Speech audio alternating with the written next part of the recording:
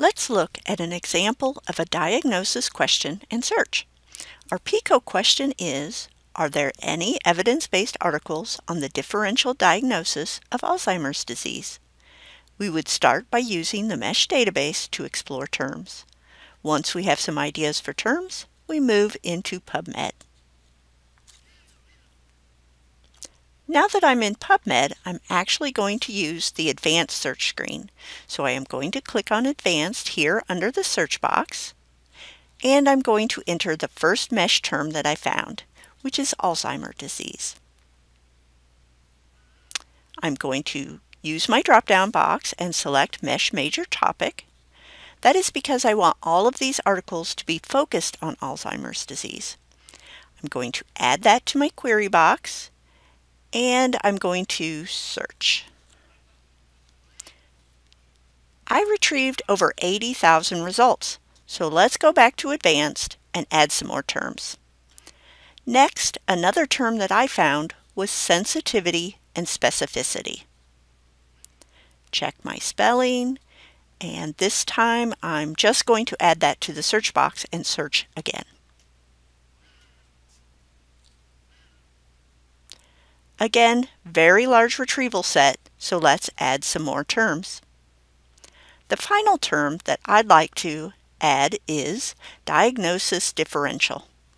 And again, I will leave this as all terms and add it. We see it show up in our query box, click on search, and again, a very large search set. Go back to advanced, and now I want to go down here to my details and see what PubMed has actually done. So it is finding the MeSH term and it's searching for differential and diagnosis in all fields. And it should have done the same thing, which it did for sensitivity and specificity. However, for Alzheimer disease, because I told it I wanted only items that were MeSH major topics, it is only searching for those words where they have been assigned as a MeSH major topic. If I do an action, I'm going to add that to the query box, and you can see it shows up up here. Next, I will add this term with AND because I want them both present in my search results. And again, adding with AND. And now you can see in my query box that I have all three terms combined with AND so that they all show up in my search results. And I'm going to click on the search button.